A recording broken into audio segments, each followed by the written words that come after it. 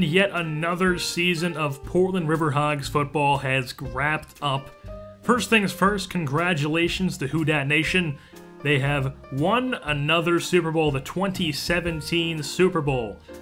Goes to New Orleans down to NOLA. Who Dat Nation comes out on top 20 to 12 over the AFC champion Kansas City Chiefs, who, like we all know, came out on top in the AFC Championship game by a score of 16 to 3 over our Portland Riverhogs.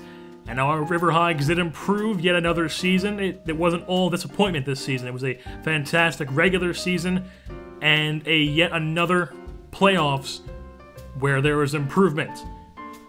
Last year's playoffs, our first playoff berth, we won the wild card game against the San Diego Chargers and then lost in the divisional round to the Baltimore Ravens. We were absolutely destroyed by that Ravens team. Joe Flacco threw all over us. And then, this season, we played so well in the regular season, we clinched a first round bye, so there was no wild card round. We went straight to the divisional, and who do we play yet again in the divisional round? This time at home against the Baltimore Ravens, and we come out on top by one point. Blake Bortles drives us down the field. Chris Smith gets the game-sealing sack. We win 15 to 14. Conference championship not so lucky, like we already know. 16 to 3 loss. Their defense was just overpowering all game. Could not get anything going and the Kansas City Chiefs proved to be the superior team. They deserved to go to the Super Bowl, but they were not obviously good enough to beat the Drew Brees, who is the NFL MVP, led New Orleans Saints. Now, this Riverhogs season had a bunch of storylines coming off a year where the team's offense was literally nothing but Bryce Brown. It was literally Bryce Brown every game, all game. If he doesn't get the job done, you're not winning the ball game. This year, it was something unexpected. Bryce Brown still had a great season, over 2,000 yards rushing. He won the AFC Offensive Player of the Year award, but, but, it was not what we expected from the quarterback play, which has been poor throughout this franchise. Blake Bortles, his redemption season, did come to an end in the AFC Championship, but he did pick up an 84.6 QBR with just under 2,000 yards, 1,940 to be exact, 12 touchdowns, and 11 interceptions ever since taking over for Lance Cummings, who going into the season, people thought Lance Cummings was going to be the number one guy. He was going to be the quarterback of the future, and he is the quarterback of the future. It just, he was hurt his rookie year. Blake Bortles came in. Blake Bortles was playing so well, it was impossible to bench the guy and he carried us all the way to the AFC Championship, where he just fell short to a spectacular defense. But Blake Bortles' redemption season was good while it lasted. Then, our defensive line, as usual, amazing. Anthony Kendricks finished second in the Defensive Player of the Year in the AFC. He finished first in the Best Defensive Lineman category, second followed by another River Hog, Chris Smith. We all know and love him by now. And despite those great players on our teams, there is still a lot to do in the offseason. Offseason, another year comes around, you start from scratch. And the big thing with this team is we let a lot of people walk. A lot, a lot of people walked in the offseason. Sen'Derrick Marks, Keenan Allen. None of those guys are coming back. Blake Bortles. Blake Bortles wanted a lot of money. He wanted four years for seven, $17.6 million over four years, and the Portland River Hogs management just was not interested in giving him that type of money. So Blake Bortles will be a quarterback elsewhere heading into the 2018 season. However, Manti Te'o, the middle linebacker, will be back for four more years. Four years, 13.8 million. He's 27 years old, so that'll bring him into his 30s. But Manti Te'o, they're confident is going to be a great middle linebacker like he was last season. Then, Sean Smith, 31 year old corner, will be resigned for yet another year. Ever since they picked him up on that one year deal when he passed through free agency. They've just been re-signing him the one year after one year after one year. And every year he just keeps performing, keeps being a great corner, and until he starts falling off the map, they're going to keep giving these one-year contracts to him. So every year is a contract year for Sean Smith. Allen Robinson will be back. Did not have the biggest role last year, did not have the biggest role the year before that. But Allen Robinson re-signed to two years, under two mil per year. So he's not even making he's not even making a million per year. Allen Robinson, 1.86 mil over two years. He's 25 years old, so he'll be 27 by the end of that deal. Now you head into free agency and you take a look at a new quarterback in town. However, Lance Cummings will be the starter. Mark Helfrich has already held a press conference that said that Lance Cummings will be the starting quarterback for this Portland Riverhogs team in the 2018 season. But there's our injuries in football. We saw it last year. Lance Cummings is a mobile quarterback.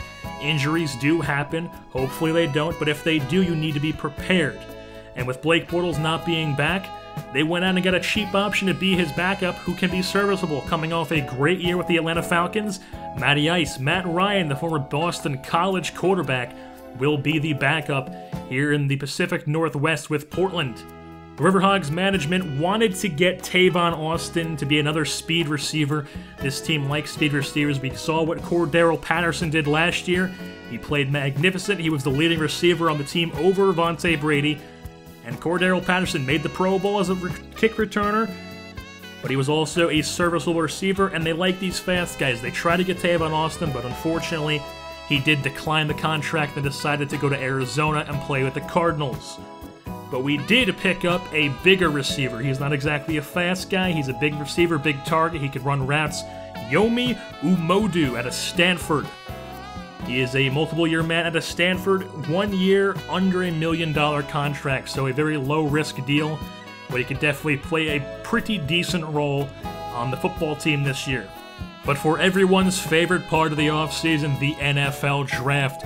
Who are the young guys coming into the NFL? Who are the young guys coming into the Portland Riverhogs team that could make impacts right away? And this year, with offensive line holes being left open, with veterans letting walk, with defensive holes being left open, all these holes being left open, we needed to have a big draft in order to compete this year.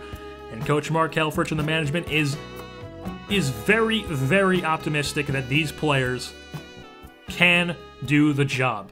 First round, they drafted Kevon Stevenson, strong safety to Michigan State, sitting at a 74 overall, heading into the NFL. So that's heading into preseason before the reps, before the game prep.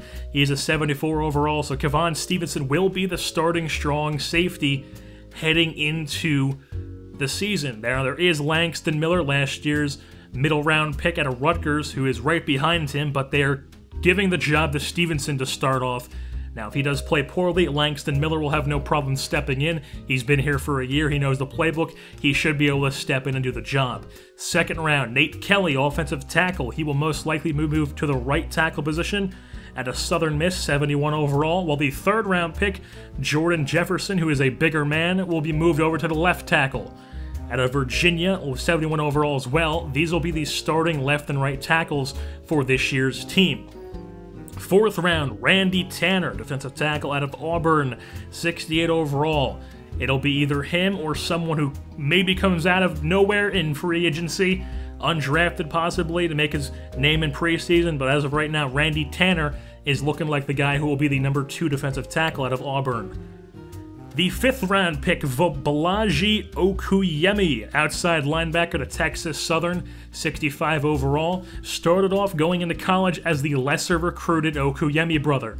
Why is that important? Because after the sixth round, when they drafted Farrell Swope, receiver to Notre Dame, 55 overall, who is a long shot to make the roster, they took a man who was more recruited going into college, but less recruited coming out of college into the NFL. Balaji Okuyemi, the outside linebacker's brother, twin brother. Ogwami Okuyemi, the middle linebacker out of Nevada. So these Okuyemi brothers will have a shot on the team this year. They will both make the team, but if they do get playing time, that will be up to them. That'll be up to coach Mark Helfrich, the coach. But these Okuyemi brothers do have a shot to get decent playing time, if not this season, definitely in the future. And then after the NFL draft, they went out and signed a 73 overall undrafted running back out of Air Force, OJ Bowles.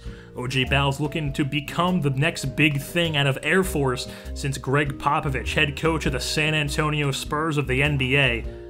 OJ Bowles looking to make that Air Force Academy proud and play well in the, in the NFL.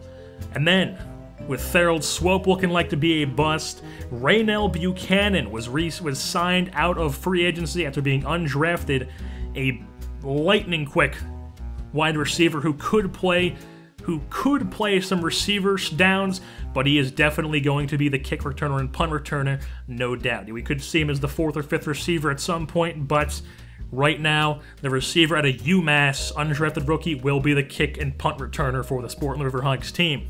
There was also some retirements heading into the 2018 season. Steve Smith Sr. He played the last few seasons of his career, 17 years in the NFL. Last few of them with the Baltimore Ravens. He was with those Baltimore Ravens teams that always played us tough.